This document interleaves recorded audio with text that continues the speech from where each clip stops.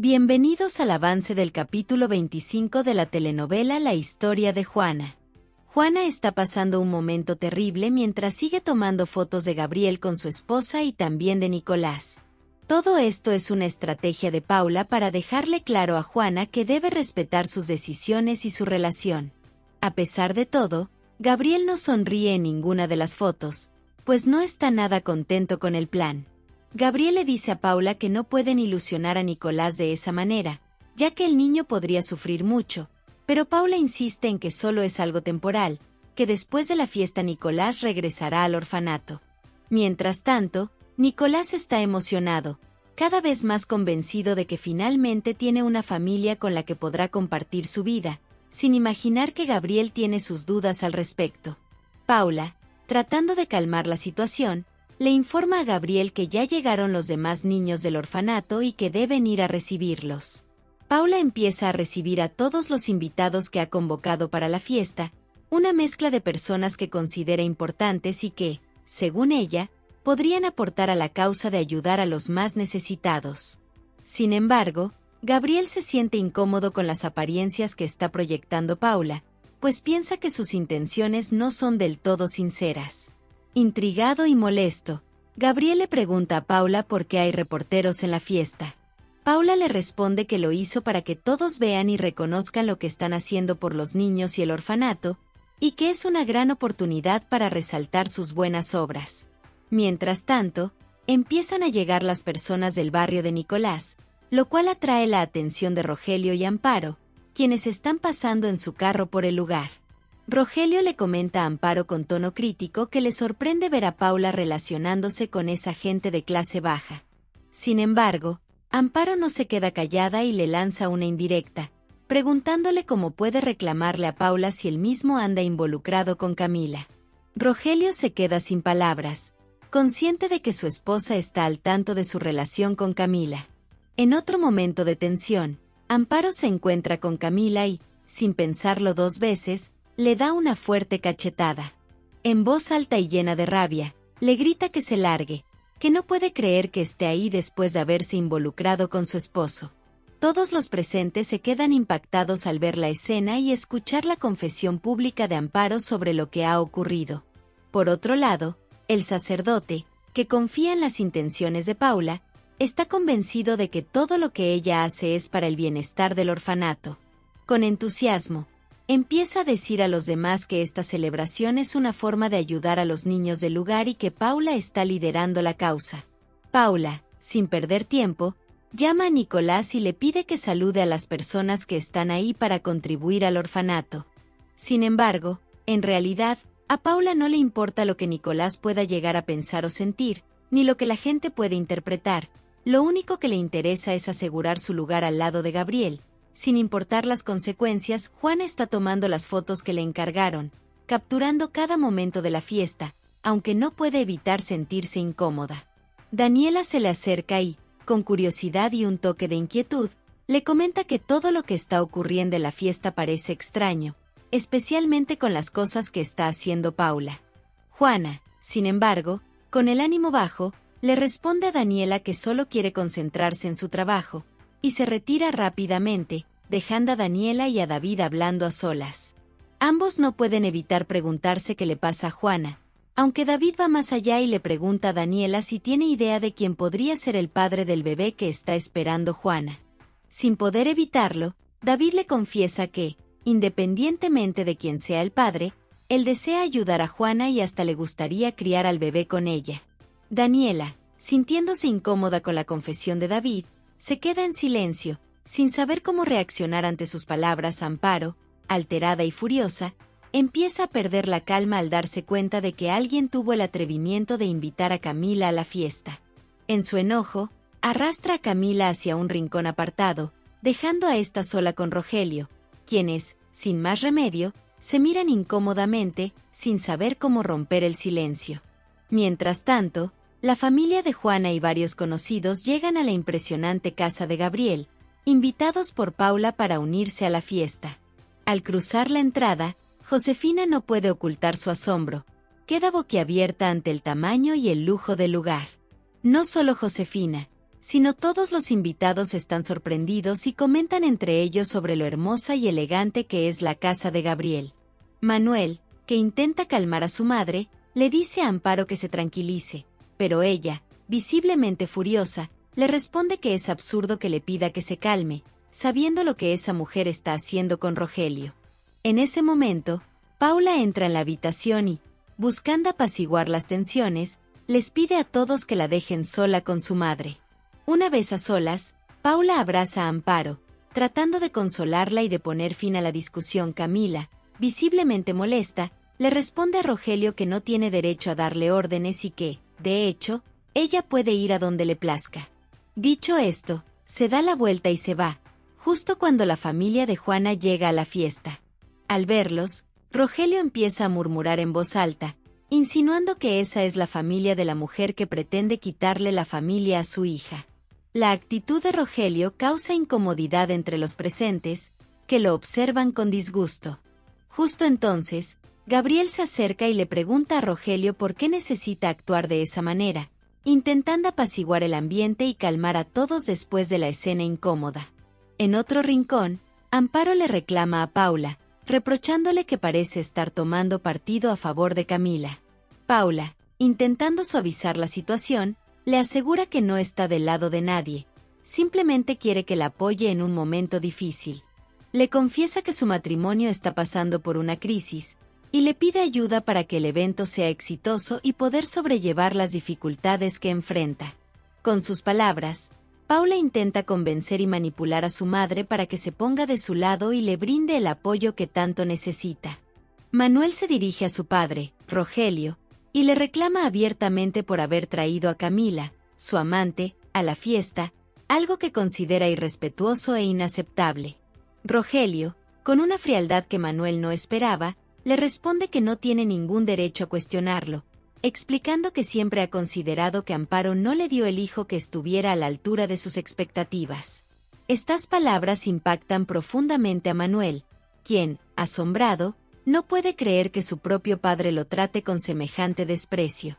Mientras tanto, la familia de Juana, sentada en una de las mesas, observa la escena de lejos y murmura entre ellos sobre el comportamiento de Rogelio.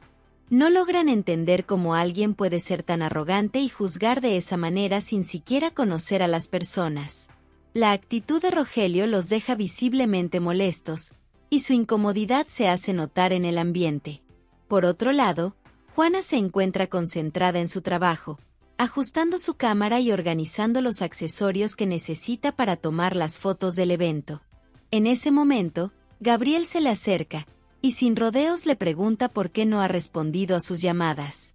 Juana, con una mezcla de indignación y dolor, le responde que no entiende cómo se atreve a exigirle algo así cuando, a su parecer, él parece estar perfectamente bien al lado de su esposa. Gabriel, buscando una oportunidad para explicarse, le asegura que está en proceso de separarse de Paula.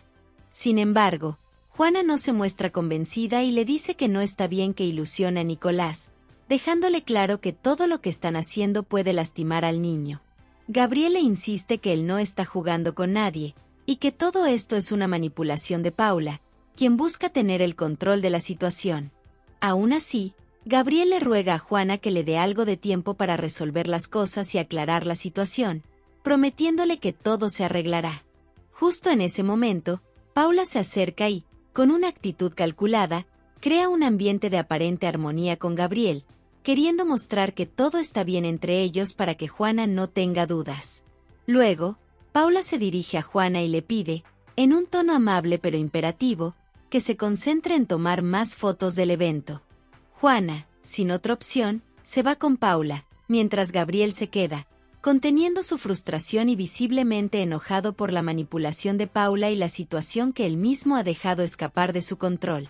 Poco después, Josefina, preocupada, se acercó a su nieta y, con un tono cariñoso pero firme, le dijo que no intentara engañarla. Podía notar que Juana estaba sufriendo y aguantando su dolor en silencio. Juana, tratando de disimular, le respondió que estaba bien y que no le ocurría nada. Sin embargo, Josefina fue directa y le dijo que sabía que su nieta estaba enamorada de Gabriel y que, aunque fuera difícil, debía olvidarlo. Juana se tensó y, nerviosa, le pidió a su abuela que no hablaran de ese tema en ese momento. Sin querer dejar las cosas así, Josefina aprovechó para contarle algo que había sucedido al llegar a la fiesta cuando ella y el resto de la familia entraron, escucharon a Rogelio gritar, señalándolos como la familia de la mujercita que quiere quitarle el esposo a su hija. Las palabras de su abuela dejaron a Juana profundamente impactada y sin palabras. Josefina, preocupada por el futuro de su nieta, le aconsejó que pensara bien en las decisiones que estaba tomando, recordándole que cuando naciera el bebé, ambos sufrirían las consecuencias de aquella situación. Juana, sin poder aguantar más la presión, se alejó con lágrimas en los ojos. En ese momento, Jenny se acercó a su madre, Josefina, y con preocupación le preguntó qué era lo que había pasado con Juana. Paula, impulsiva y rencorosa, se acercó a la familia de Juana, soltando comentarios hirientes. Con una risa sarcástica, empezó a llamar los pobres diablos, muertos de hambre y a burlarse de sus ropas, disfrutando de cada palabra. Felipe, con calma, le pidió que no insultara, pero Paula lo ignoró y le sugirió que se mirara al espejo antes de intentar defenderse. Jenny, conteniendo la rabia, respiró profundo y, con un tono firme, le sugirió a todos que mejor se marcharan, a lo que Paula respondió con una expresión de desprecio, sin decir nada más. Por otro lado, Rogelio intentaba acercarse a Amparo, pero ella lo rechazó de inmediato, mirándolo con desdén y diciéndole que era un asco.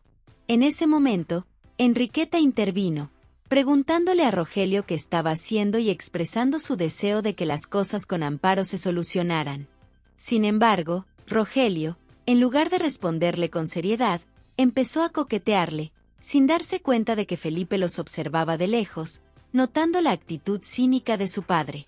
Mientras tanto, Camila intentaba limpiar su reputación. Con tono tajante, aseguraba a sus compañeras que Amparo estaba exagerando y que entre ella y Rogelio no había nada. Las mujeres intercambiaron miradas, sin saber si creerle o no. En medio del evento, Paula trataba de aprovechar el momento para otorgarle todo el crédito a Gabriel ante las cámaras, insistiendo en que había sido el quien organizó y coordinó cada detalle.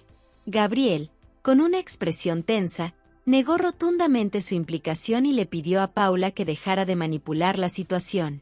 Sin embargo, Paula continuó con su discurso, lanzando indirectas que apuntaban a Juana, insinuando que Gabriel siempre ayudaba a las mujeres embarazadas y sin recursos, tratando de hacer que Juana dudara de Gabriel. Camila, notando la tensión, se acercó a Juana con una sonrisa malévola y, en tono bajo pero cargado de veneno, le susurró que abriera los ojos, sugiriéndole que Gabriel y Paula solo la estaban manipulando y viéndole la cara de tonta. Juana, visiblemente herida, miró a Gabriel, quien estaba a unos pasos de distancia observándola con una mezcla de incomodidad y tristeza. Enriqueta, aún escondida bajo la mesa, finalmente no pudo soportar más el encierro y, al intentar salir, se encontró cara a cara con Felipe. Sorprendido, Felipe le preguntó por qué estaba huyendo de él, a lo que Enriqueta, digna, respondió que era una mujer seria y no quería ser motivo de habladurías. Explicó que no le gustaban los chismes ni la atención innecesaria, especialmente en público. Felipe, serio pero decidido, aclaró que Yadira no era su novia y que no debía preocuparse por rumores sin fundamento.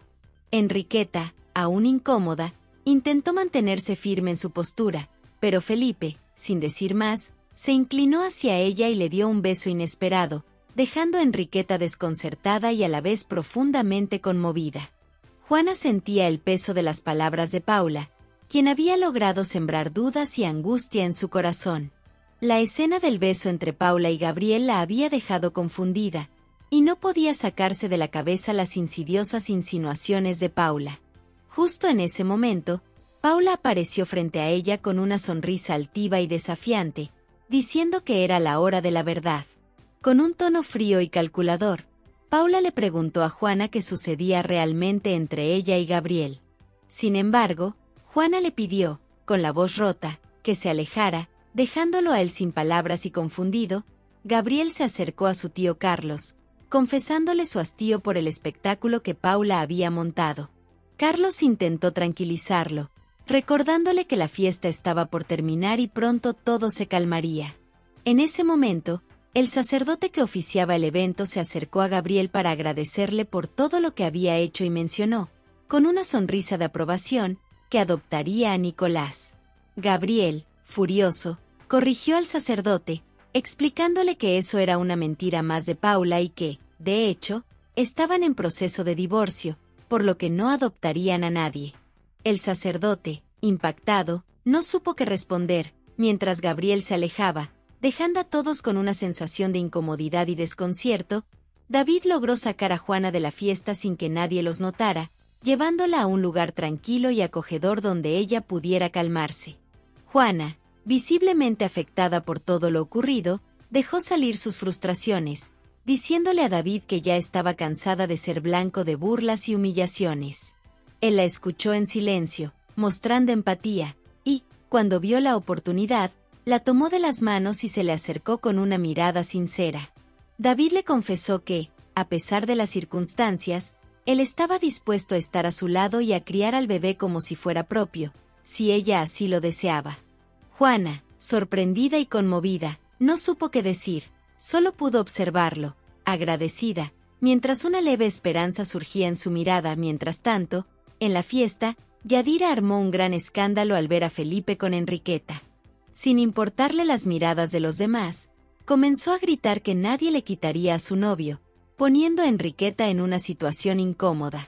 Carlos, viendo la escena, intervino y se llevó a Enriqueta antes de que la situación se saliera de control en medio del alboroto, Nicolás y los niños del orfanato se las ingeniaron para activar las regaderas del patio, y en cuestión de segundos, el agua comenzó a salpicar a todos los invitados.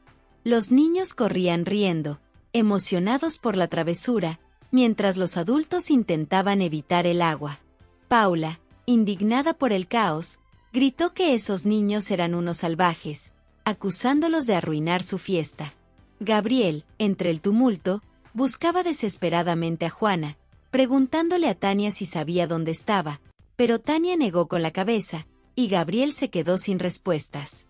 Josefina se acercó a Gabriel y, con tono firme, le preguntó cuándo pensaba dejar en paz a Juana, señalándole que ella ya había pasado por demasiado. La familia de Juana se sumó a las críticas, pidiéndole a Gabriel que la dejara tranquila, dejándolo sin palabras y profundamente avergonzado. En otro rincón del jardín, Paula se quejaba amargamente de cómo el evento había sido un desastre. Rogelio intentó consolar a su hija, pero Paula, frustrada, le gritó que se fuera, sin interés en escuchar sus palabras. Rogelio, resignado, le dijo que había advertido a Camila que no asistiera a la fiesta y, al no obtener respuesta, se marchó, dejando a Paula sola en su rabia y desconsuelo. Mientras tanto, David llevó a Juana a su casa, donde intentó hacerla sentir segura y escuchada. La conversación entre ellos fluyó con sinceridad, y David, queriendo demostrarle sus sentimientos, le reiteró que estaría a su lado. La promesa de alguien dispuesto a cuidarla y protegerla resonó en el corazón de Juana, quien por primera vez en mucho tiempo sintió un alivio sincero en medio de tanta confusión. Hasta aquí este avance, si te ha gustado déjanos un like y suscríbete.